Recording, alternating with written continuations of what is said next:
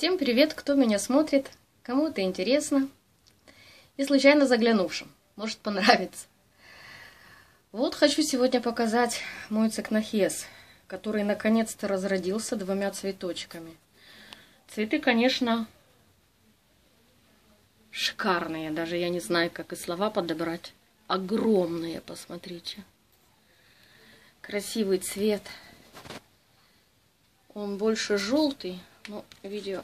Ага, так попробуем. Вот.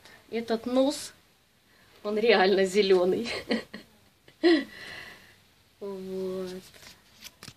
Красивый. Было четыре цветка.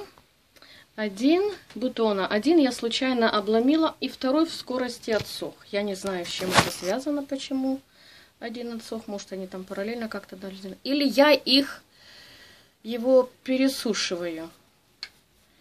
Не сильно я его поливала. Вот не могу я никак с ним угадать. То ли у него период покоя, то ли нет. Может, кто знающий подскажет. Наел он бульбу хорошую. Даже треснул, видите? Вот тут. Вот это. А это уже просто там от воды, наверное. Какие-то потемнения. Тяжелый огромный цветок. Понравился мне очень сильно, но садить его буду теперь пересаживать как-то по-другому, потому что тяжелый и в маленьком горшочке, в котором он растет. Вот у тебя опять сухой. Вот буквально позавчера я его полила, он сухой. Видите? Вот.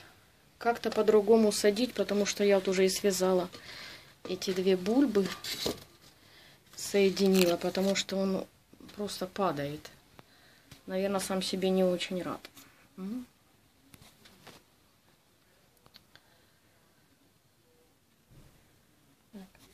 А вот его второй братан, катасетом. С этим все понятно и очень просто. Он проснулся.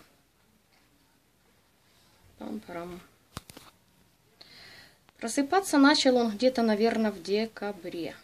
Вот его детка. Хорошо он пережил сухой период, и зимний сон. Вот бульба гладкая, как была, так и осталась. Новая. Материнская тоже. И даже там где-то ювенильная маленькая, сейчас я ее найду, вот. Тоже хорошо выглядит.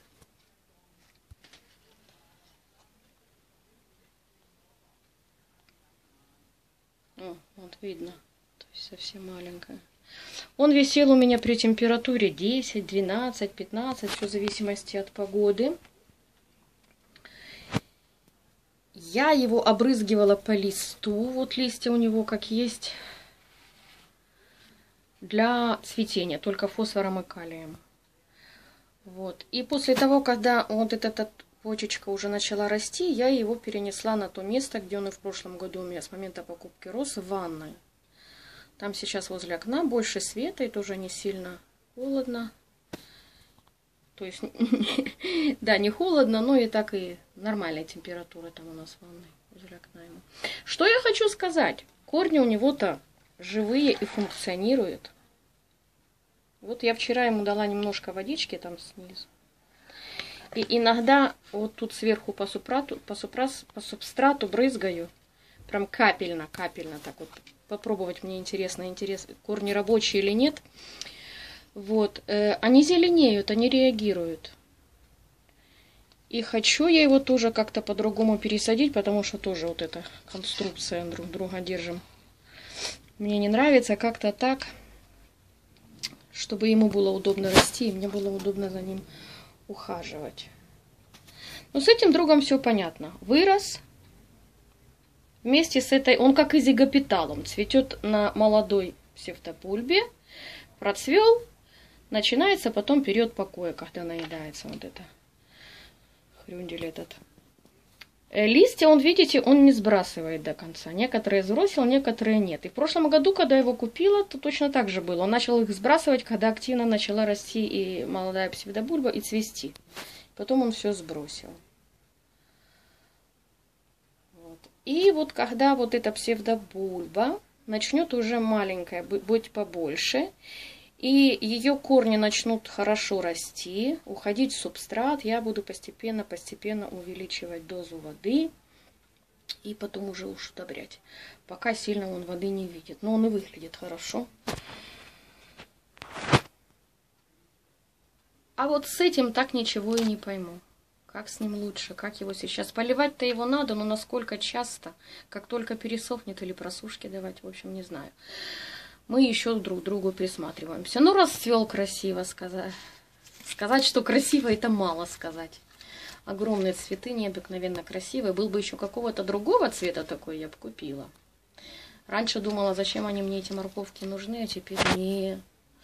Такая корова нужна самому. Красивый. Ну вот и все на сегодня. Спасибо за ваше внимание, за просмотр. До следующих встреч. Всем хорошего настроения, хорошего вечера. Сегодня у нас уже вечер. Пока-пока.